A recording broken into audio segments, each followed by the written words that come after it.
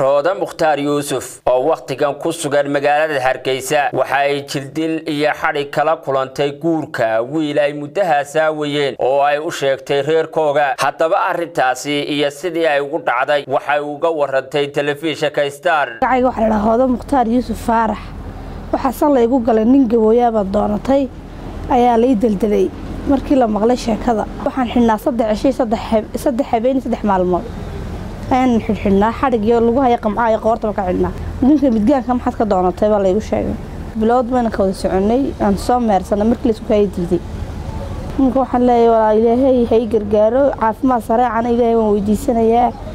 Ilaahayna hayla garab galo. Dhinaca kale telefishinka star waxaa la hadlay aabbaha dhalay wiilkani ay arrintani ku dhacday. Inanka gabadha ah ay isguursadeen baa dhalay.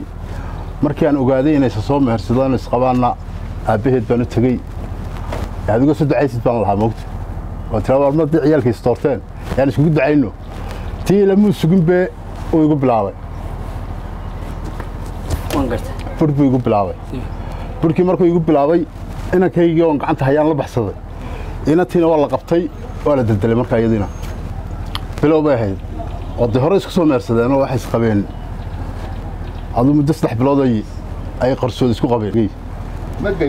Ducadii iyo wixii aan u siday sawtan bur laygu bilaabay dee waxay ahayd annaguna gabooyaanu nahay iyaguna waa isaaq dee sababtaasun baan anigu ma garanaysaa nalagu diday dhinaca kale telefishinka star waxaa la hadlay madax dhaqameed ka soo jeeda deegaanka. Wiilkani inanta loo diiday. Habeendhiina ku arka.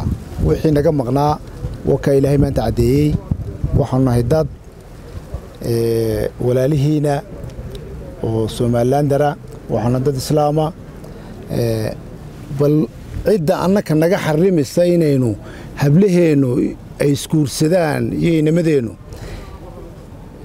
diinta islaamka idiina fasaxaysa inay gaaladu idinka guursato oo gaalada in badan ay ku faraxdo markay gaaladu ka guursato annakoo islaama oo shahaadanayna oo isku dhaqana oo isku dala oo isku afa oo wax inoo kala doona ayna jirin waxaa hablihiina naga xaaraantimeeyey gaaladana u fasaxay bal culummada reer somalilan ama culummada soomaalida ama culummada caalamkuba bal arrintaas waa ha nooga soo jawaabaan. Waxaa hablihiina naga xaaraantimeeyey ee gabadhaasaa loogu cinqaabaya ee loo deldelayo ee laleeyay nin reerkaasaad guursatay. Bal waxaan u bandhigaynaa dee dadka culummada afar iyo labatanka saacadood dee masaajid baynu ku jirnaa waynu ashaahadanaynaa muslim baanu nahay baanu leenahay. Afcaashii muslimnimadana dee dad in badan kuma arkino intaasoo qadiyadood baa dhacday. Intaasoo qadiyadood baa dhacday oo noocan oo kale ah.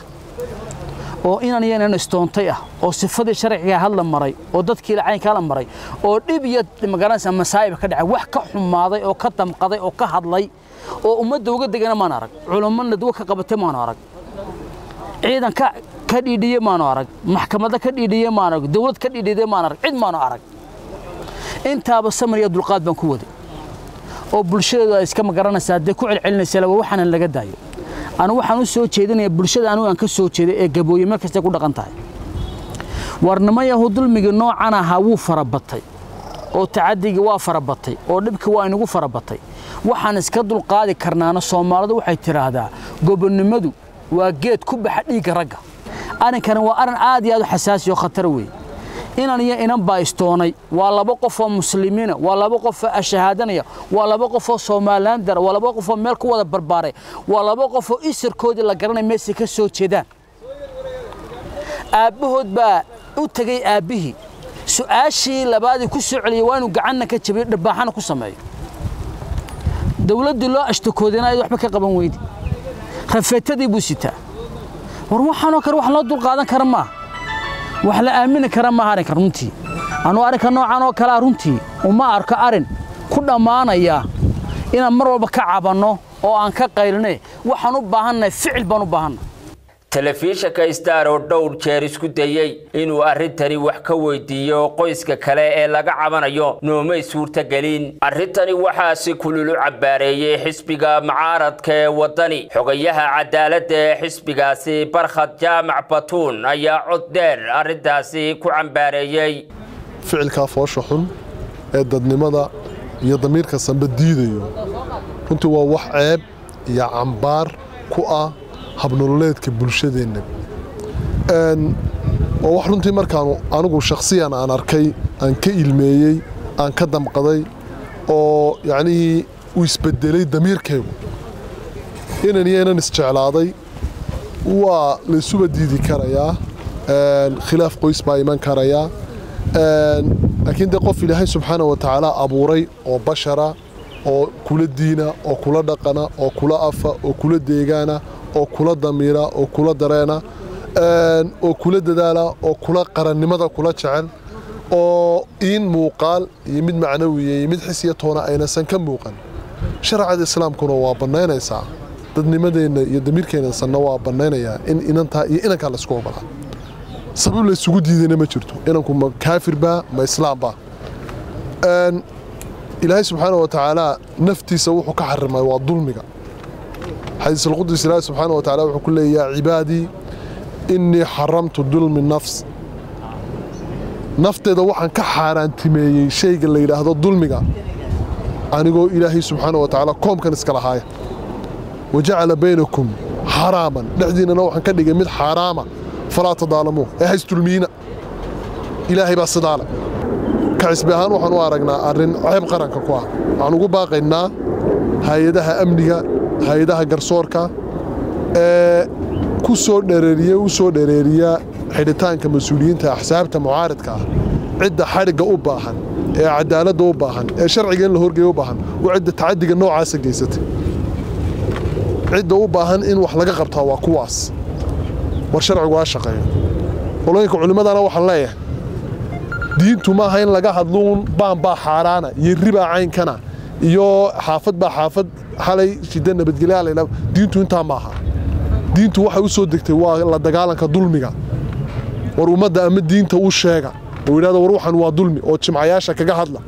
Ama ummadda u caddeeya inay ummaddani gaalo tahay oo laga guursan karayn haddaba arrintaasi maxay ka qabtaa diinta islaamku agaasimaha guud ee wasaaradda diinta iyo awqaafta somalilan. Sheekh saleemaan siciid cali waxaa weydiiyey bal arrintan iyo waxay diinta islaamku ka qabto.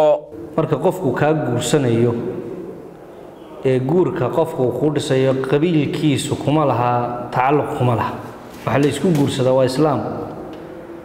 Waxa la ysugu diidaana waa islaamnimo marka guurku reer kuma xidhna. Qofkana reer muu yahay kuma xidhna wuxuu ku xidhan yahay islaamnimadu ku xidhan yahay. Nabiguna wuxuu uhi calayhi salaatu wasalaam markuu idiin yimaado mid aan diintiisa iyo akhlaaqdiisa oo raalli ka noqoteen u guuray hadday taasi dhici weydo takun fi lardi fasaadun cariid baa nebigu uhi calayhi salaatu wasalaam fasaad ballaadhan baa dhici doono dee zine iyo xumaan oo dhan baa dhici doonta markaa guurka waxa u shardiya qofka in akhlaaqdiisana raalli laga noqdo diintiisana raalli laga noqdo. Qofku inuu muslim yahay akhlaaq wanaagsan. Hadduu aabbahaas inanta ugu diiday inankaa iminka inanta loo dhisaayey ee dagaalku ka dhacay hadduu dhinaca akhlaaqda ugu diiday iyo diinta uu saxan laakiin midunbuu ku qaldan dee inuu inanta suryeeyo oo dhibo oo xidhxidho oo taasi waa qadiyad aan u bannaanayn. Aabbuu xaq buu leeyahay dhisid inanta iyo diidmadeedaba laakiin waa goorma hadduu islaamnimo ugu diiday uu saxayn. Ninkaasi inaanu diinta ku fiicnayn inaanu tukanahayn inaanu muslim ahayn. Ilayn inagu ma ogin wuxuu ugu diiday. Qolada hadlaysaana waxay tidhi qabiil baa la noogu diiday. Laakiin hadduu islaamnimo ugu diiday waa sax. Haddaanu islaamnimo ugu diidin ee uu qabiil ugu diiday sidaa ay sheegayaan waa arrin mamnuuca oo shareecada islaamku aanay ogolayn soomaalida waxaan leeyahay barnaamijka iyo arrinkaasi waa arrin shareecada islaamka ku horjoogaysa in dad la takoora ma bannaana. Waa arrin aan bannaanayn. Waxaynu hablaha u dhisnaa qaar aynaan garanayba nin cad baa iska imanaya hadduu doono waa muslim baa la odhanaya. Qaar deetana islaamnimadiisaba isagoon la hubin ayaa loo dhisay. Marka runtii waxaan ku baraarujinaya dadka dajeeraanka nahayn walaalaha nahayn wada dhaqana in tacaamul wanaagsan iyo dhaqan wanaagsan inuu dhexdeenna yimaado iyaguna inay dadaalaan. Iyagu bulshaday ka mid yihiinoo waxba kama dhinnee weliba gabooyu waxba kama dhinnee iyaguna ha dadaalaano dadku ha ogaadaan inay walaalahood yihiin.